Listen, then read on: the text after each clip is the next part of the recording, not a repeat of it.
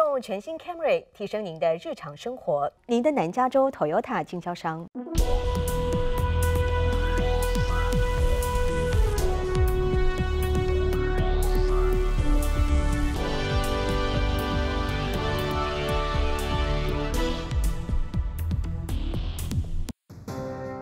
白宫表示，拜登无意跟也门开战，促胡塞停止袭击。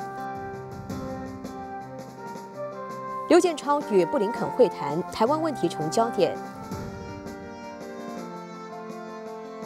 爱奥瓦州暴风雪要影响美大选首场初选。各位好，欢迎收看二零二四年一月十二日的凤凰美洲新闻，我是怪妮。新闻首先带你来关注：美国与英国空袭也门胡塞武装后，美国总统拜登十三号形容胡塞武装是恐怖组织。白宫十二号则表示，美国无意在也门掀起一场战争，只是希望胡塞武装停止在红海的挑衅行为。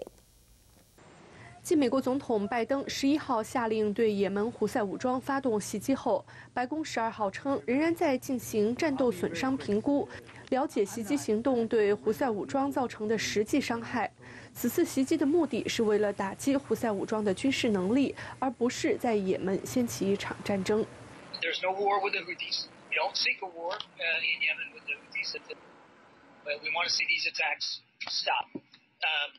We know that Iran backs the Houthis just like they back Hezbollah and they and they back Hamas. We have in the past, and we will certainly continue. 对于有两党国会议员批评拜登绕过美国国会发动袭击，违反了美国宪法第一条对战争授权的规定， 对此白宫表示有信心，拜登有权发动袭击，因为美国宪法第二条规定，美国总统有权指挥使用军事力量，保护国家免受攻击以及保护重要的国家利益。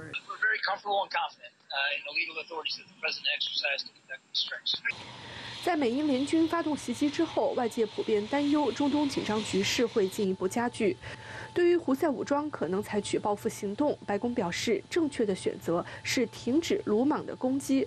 拜登也将会保留采取进一步军事行动的权利。一旦美军和美国资产以及人员受到威胁，拜登将会毫不犹豫采取行动。凤凰卫视王冰如、王天意华盛顿报道。美国国务卿布林肯当地时间十二号上午在华盛顿与中国中央对外联络部部长刘建超会面。期待一众美方官员在美国国务院与刘建超的中方官员会面，并且在会谈前先接受媒体的拍照。那根据美国国务院此前发出的官方日程，两人会晤为时一个小时。在此之前，刘建超已经与美国总统国家安全事务首席副助理芬纳会面，为双边关系以及国际地区问题交换意见。白宫在一份声明中表示，两人在会晤中讨论台海和南海紧张局势。中方对于台湾选举以及接下来可能进入敏感时期，表达一如既往的关切。美国总统大选的首场初选将于十五号在艾奥瓦州举行。美国媒体指，前总统特朗普即使在当地共和党初选获胜，他的对手前驻联合国代表黑利也并不惊慌。最新民调显示，特朗普在共和党内依旧领先，黑利已将佛罗里达州州长德桑蒂斯甩在身后，位列第二。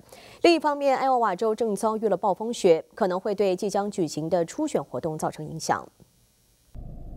二零二四首个总统初选在艾奥瓦州举行在即，据悉当地正遭遇罕见的威胁生命的暴风雪。从十二到十三号，艾奥瓦州的绝大部分地区处于暴风雪的警报之下，积雪厚度超过二十五厘米。同时遭遇六十四公里每小时的阵风，未来几天将迎来零下二十八度的超低温，任何在室外的人都有生命的危险。据美国有线电视新闻网 CNN 的说法，在距离二零二四总统初选不到三天的时间里，这场暴风雪将对初选造成严重的破坏。而目前前总统特朗普在当地的团队称，所有竞选活动处在暂停的状态。而另一候选人黑利已经取消了周五当天所有的亲自出席的活动，改为线上进行。而据今日美国等多家媒体援引黑利竞选团队的说法，他在民调。中落后于主要竞争对手超过三十个百分点。黑利的团队正在为十五号晚在州党团会议的结果降低期望，并在接下来与特朗普在新罕布什尔州的角逐做好准备，并指首个初选获胜的人通常不会是最终获得提名的人。而另一个候选人德桑蒂斯并没有把焦点完全放在特朗普身上，他一直试图拖住黑利来改变竞争的形势。德桑蒂斯尽管得到了艾奥瓦州的州长雷洛茨和艾尔瓦州福音领袖等人的支持，并访问了当地九十九个县，但在周四公布的一项来自萨福克大学的民调显示，在可能参加艾尔瓦州党团会议的人当中，有百分之五十四的人支持特朗普。德桑蒂斯远落后于黑利的百分之二十，仅拿到百分之十三的支持率。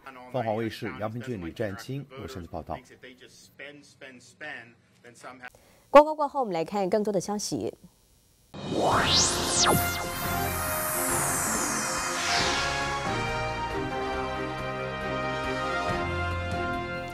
感谢回来，我们来看今天来自美国各地的简讯。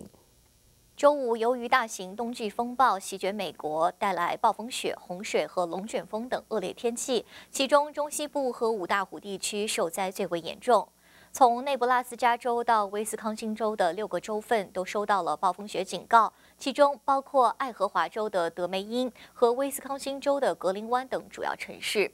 恶劣天气还影响了伊利诺伊州的道路和航空交通状况。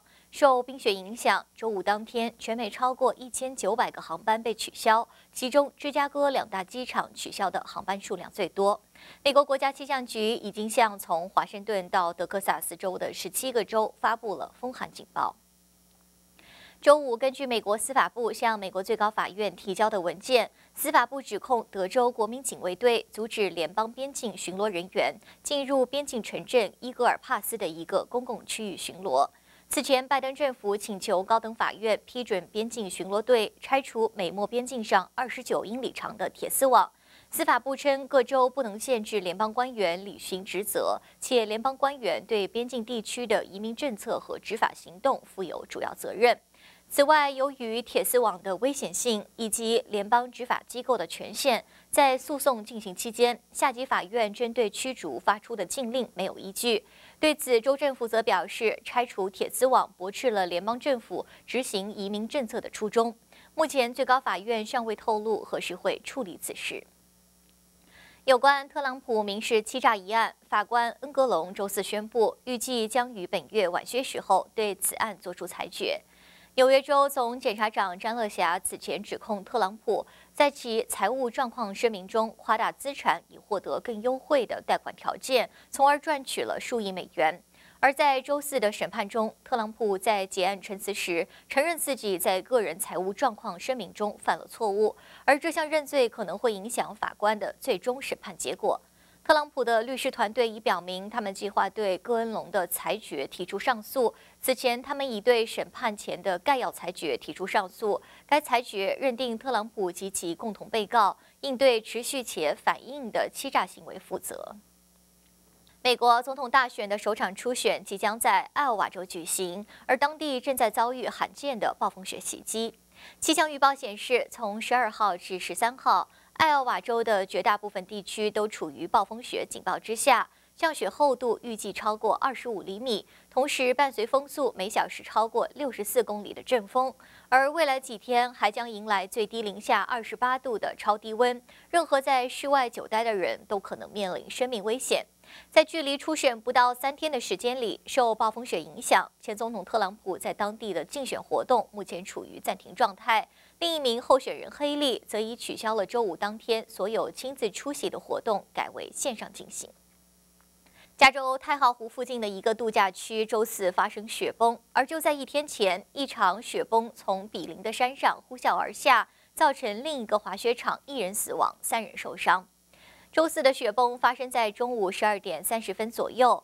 度假村方面表示，滑雪巡逻队使用探测器、信标和警犬队对该地区进行了搜查，没有发现人员伤亡。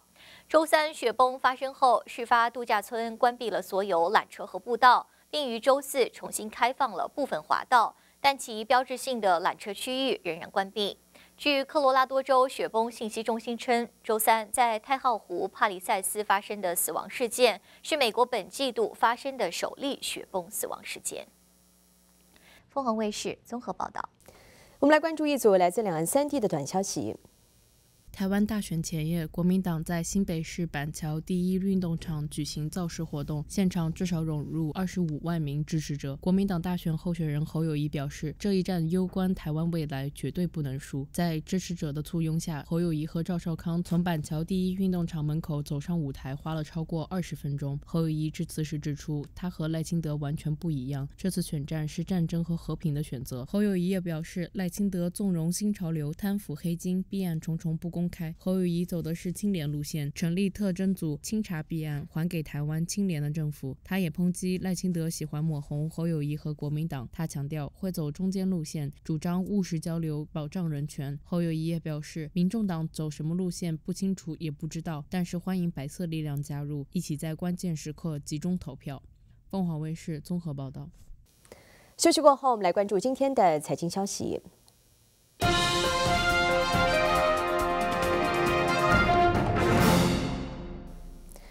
在财经方面，美股周五是涨跌互见，但三大股指本周均录得涨幅。美股第四财报季拉开帷幕，市场正在评估摩根士丹利与美国银行等大型银行的财报，并关注中东紧张局势的发展。美国十二月的 PPI 低于预期，发现出了通胀下行的积极信号。我们来关注今天世界各地的财经指数。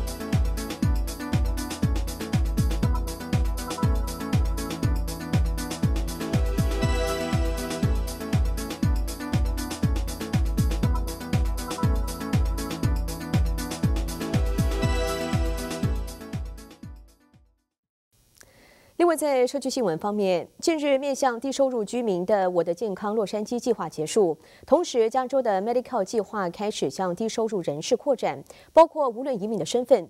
此举意在保障原本依赖“我的健康洛杉矶”的居民能够顺利过渡到 Medicare。Medicare 是加州实施的一项公共健康保险计划，意在为低收入家庭、老年人、残疾人士以及其他符合资格的群体提供医疗保障。该计划覆盖范围包括基本医疗服务、紧急护理、处方药物及长期护理等。新的政策拓展将使更多的低收入成年人，特别是无证移民，得以获得基本医疗服务。Ask for help because it's very complicated um, to understand the process, and I would recommend. That patients seek help through um, outreach and enrollment departments at your FQHC clinics. The reason I say that and I'm advocating for that is if you go through the DPSS process, and there are partners too, um, and you apply online, there's no point of contact. 为协助居民顺利过渡，我的健康洛杉矶和加州医疗保健服务部举办简报会，讲解如何申请 Medicare 以及这一转变对个人医疗保险的影响。此外，还对那些从未有过医疗保险的居民提供特别的支持和指导。I would say to the community not to fear a public charge, to approach a community health center to get information before making a decision or shying away from seeking medical services. 有专家表示，扩大 Medicare 计划是我们实现全民健保的一个关键步骤。这不仅改善无保险人群的健康状况，也有助于整个社区的福祉。专家们还强调，我们期待看到这一转变如何提升洛杉矶县居民的整体健康水平，并确保没有人因为经济原因而无法获得必要的医疗服务。凤凰卫视田野洛杉矶报道。我们来看一下未来二十四小时的全球天气情况。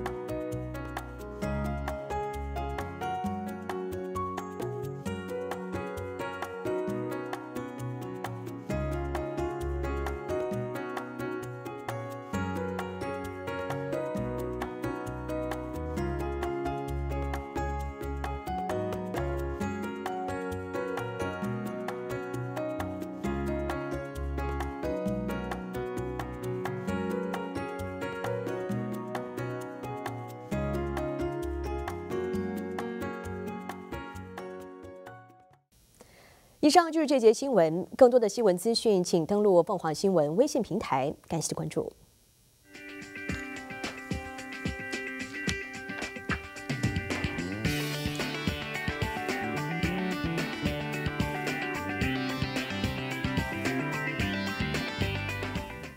凤凰每周新闻由麦当劳、美国苏氏药业联合赞助播出。